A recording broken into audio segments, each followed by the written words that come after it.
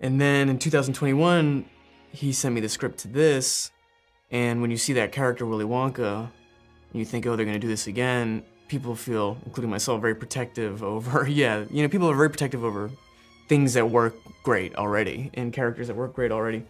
So uh, I was, I don't wanna say skeptical, but I was, didn't necessarily want to take on something so daunting. Meet him then, and just thought he had that that quality of uh, he's sort of um, eccentric and, and magical and precise and sort of angular. He just feels like young Willy Wonka, and uh, it was it was very straightforward. Just reading the first three pages or four pages and the lyrics from the opening song, A Hatful of Dreams, without the musical accompaniment, but I thought it was so clever about this young Willy that didn't have those tones of like, uh, not gloominess, but you know, the, the, the, aspects in the originals that, that Cynicism. cynicism, yeah, and like a couple You of screws loose. Yeah, you lose, Charlie.